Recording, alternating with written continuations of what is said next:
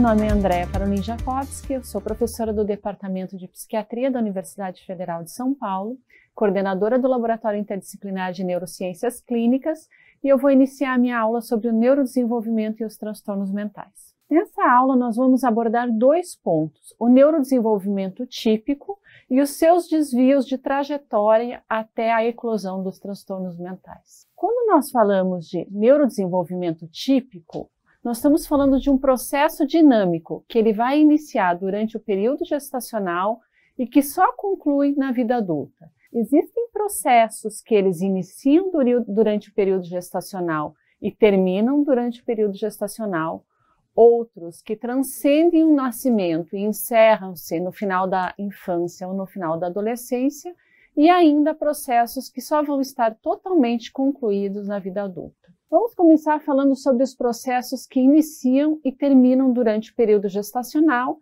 sendo que o primeiro deles é o processo de neurulação. Neurulação nada mais é do que a formação de, do tubo neural.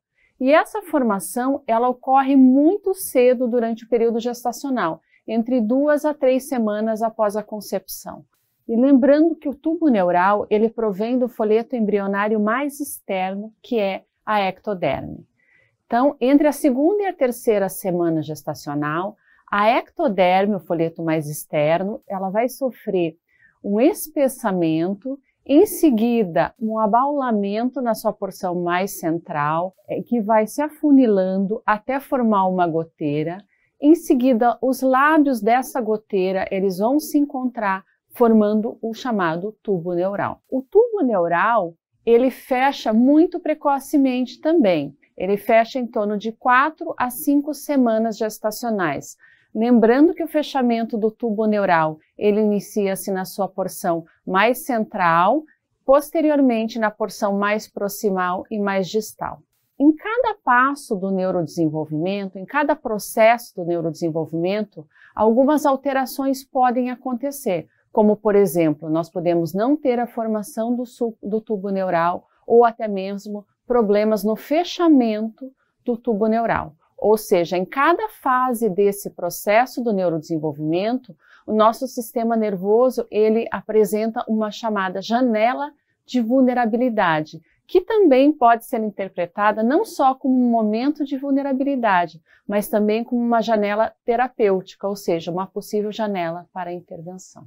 Dando continuidade ao fechamento do tubo neural, que aconteceu entre quatro e cinco semanas gestacionais, a porção mais proximal do tubo ela vai crescer e vai se dilatar, formando as três primeiras é, vesículas encefálicas, que correspondem ao prosencéfalo, ao mesencéfalo e ao romboencéfalo. Essa fase de três vesículas é, encefálicas rapidamente se transforma numa fase de cinco vesículas encefálicas, onde o prosencéfalo ele vai se dividir em telencéfalo e diencéfalo, sendo que o telencéfalo vai dar origem aos hemisférios cerebrais e o diencéfalo às estruturas que correspondem ao diencéfalo propriamente dito. O mesencéfalo permanece como ele mesmo e o rombencéfalo vai se diferenciar em metaencéfalo e mielencéfalo. Lembrando que posteriormente essas regiões mais posteriores, ou metaencéfalo e mielencéfalo, vão se diferenciar em ponte cerebelo e a medula permanece como ela mesma.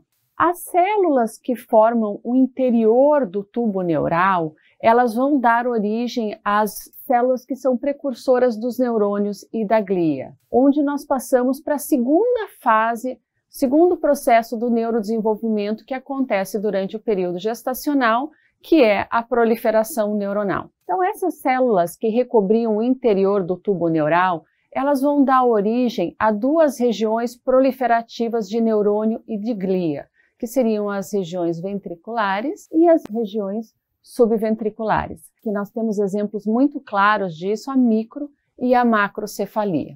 São erros de proliferação neuronal que causam alterações uh, comportamentais, alterações cognitivas e alterações nos mais variados domínios. Já no período de migração neuronal, o que ocorre? Aqueles neurônios que foram gerados